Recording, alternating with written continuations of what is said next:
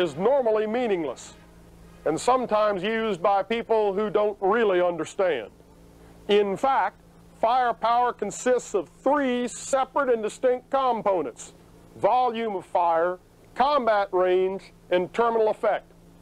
The history of small arms technology is the history of developments and advances in the three components. Since any weapon gains in one component at the expense of another, it also concerns the design trade-offs involved, how these trade-offs were incorporated into tactical doctrine, and how they affected the outcome of battle. Volume of fire is the number of rounds that a well-trained operator or crew can efficiently and accurately fire in one minute.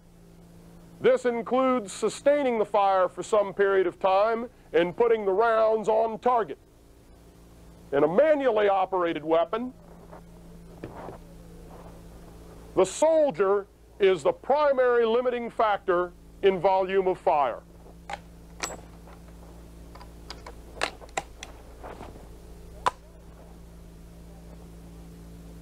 Automatic weapons are not so easy. All automatic weapons have a cyclic rate of fire which is an expression of the speed at which the mechanism functions. No automatic weapon, with one exception, can sustain a volume of fire the same as its cyclic rate, primarily because the heat of firing cannot be dissipated at the same rate that it builds up. This can seriously damage or destroy the weapon. There are ways of combating it, such as a quick change barrel, but each one brings its own set of advantages and disadvantages. As a good rule of thumb, most automatic weapons will have a sustained volume of fire somewhere between one-sixth and one-third of their cyclic rate. Combat range is expressed as a distance. Many interrelated factors have an effect on combat range. One is accuracy or shot-to-shot -shot uniformity, so all subsequent rounds go in the same place that the first round did. Barrel length and velocity have absolutely nothing whatsoever to do with accuracy. Accuracy is a result of proper design and precision and uniformity in manufacture. In some cases, such as the flintlock smoothbore musket, accuracy will be the practical limit on combat range. Since the 1870s, trajectory has been the primary limiting factor. Further, trajectory gives rise to two divisions of combat range, battle sight range and adjust sight range. This black line represents the line of sight from shooter to target. This is the barrel and front sight of a firearm. If the barrel were held perfectly horizontal, the path of the bullet would define a curve much like this blue curve. However, rifles are made such that the barrel is always pointing upward in relation to the line of sight.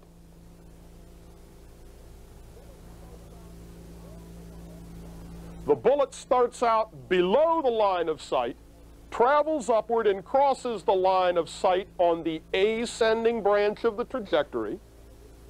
It passes through the maximum ordinate and then drops down on the descending branch, crossing back over the line of sight and falling away below it. In all cases, we want to aim between the breast pockets of the enemy and strike him no higher than the throat nor lower than the belt buckle. That sight setting or angle of the barrel pointing upwards such that the maximum ordinate is never higher above the line of sight than the difference between the breast pockets and the throat, nor the descending branch no further below the line of sight than the distance from between the breast pockets to the belt buckle is the battle sight. And this point is the battle sight range. Within this range, the shooter need not estimate the range to the target nor adjust his sights.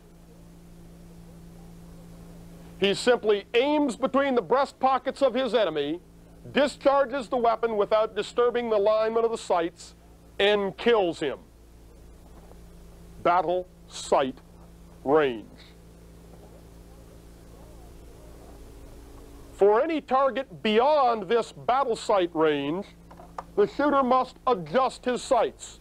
He estimates the range to the target and sets that range on his sights. By so doing, he is changing the angle of the barrel and the positioning of the trajectory curve in relation to the line of sight.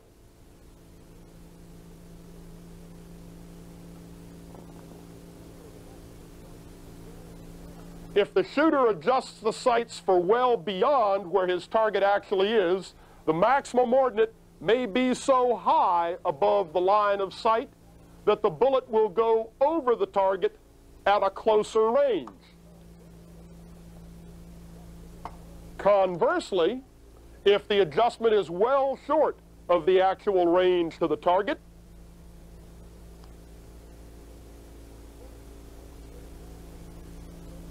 the bullet may pass below the target. This trajectory is much more of a curve than people think. A 4570 if fired with the barrel perfectly horizontal, will, in less than 500 yards downrange, drop more than 450 inches below the line of sight. Adjust sight range is that range such that the shooter can aim between the breast pockets of the enemy, make a 50-yard range estimation error or sight adjustment error and still strike somewhere between the throat and belt buckle. Beyond the adjust sight range, the target can still be hit. However, range estimation must be more and more accurate.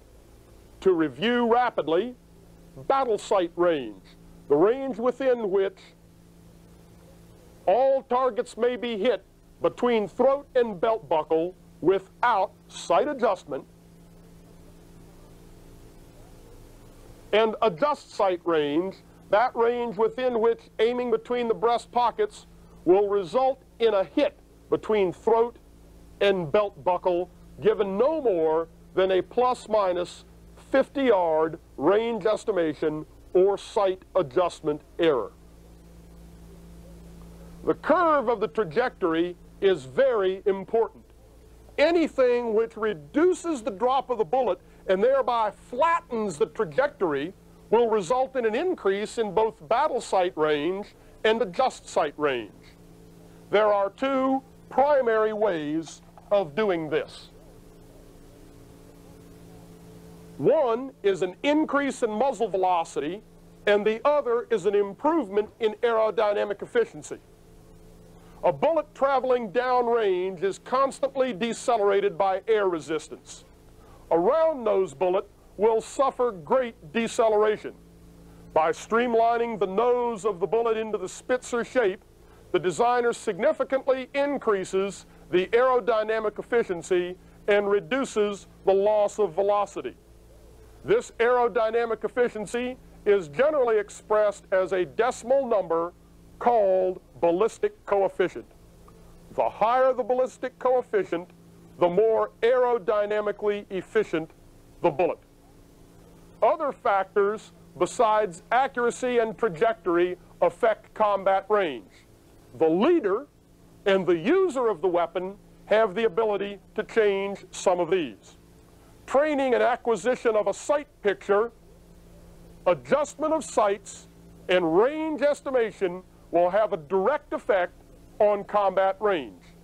If the shooter can hold a small error in range estimation and sight adjustment, or is trained to spot the fall of his rounds on the ground and use that as a basis for further estimation and adjustment, the adjust sight range will be increased.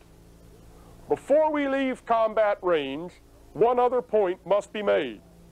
It is not uncommon to find sights graduated to 2,000 yards for weapons which have a 4 or 500 yard adjust sight range. The numerical graduations on the rear sight are no indicator whatsoever of either battle sight or adjust sight range. About the only exception to this is the British Army in the period 1905 to 1914. They were amongst the finest military marksmen and could use their weapons out to the limit of possible sight adjustments. The most important of the three components of firepower is terminal effect. Terminal effect concerns the destruction of a target given a hit on that target. This will be covered in greater detail in another tape. I urge you to keep the components of firepower constantly in mind. They are necessary for tracing the development of small arms.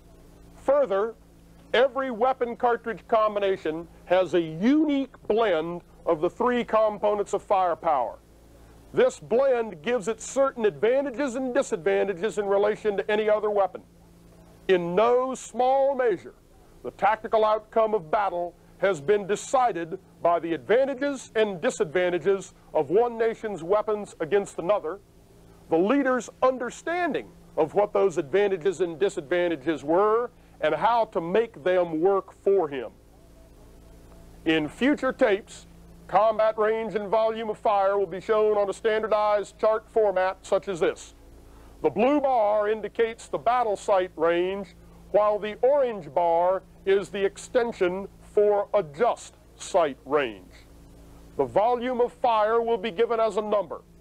In all cases, these are based upon a test analysis of the weapons involved, tempered with the best historical evidence available. Your impression of the weapon should be taken both from the range film and from the chart. The two must be used together in order to evaluate the weapon. The combat range volume of fire chart has been reduced to a tabular format. A copy will be issued you with the playing of this tape. Lastly, we are not putting on a uniform show. All uniforms will be the standard BDU and appropriate safety gear will be used. In most cases, the ammunition will be laid out beside the shooter. This is not a warping of history. Contemporary shooters were issued the proper accoutrements such that the ammunition would be readily available. A good example is the cartridge box of the American Revolution through War Between the States era. These large leather boxes were slung across the shoulder on belts. When in battle, the shooter put the cartridge box in front and used his canteen strap and other equipment to hold the strap of the cartridge box firmly against his body. He also broke the flap of the cartridge box back, tucking it behind his waist belt so that it would remain stationary. If the shooter could find his belt buckle, he could find his ammunition. In sum, the three components of firepower are volume of fire, combat range with its two divisions, battle sight range and adjust sight range, and terminal effect. They are essential as threads of continuity in the study of the history of military technology and its relation to the outcome of battle. We hope you enjoy the tapes.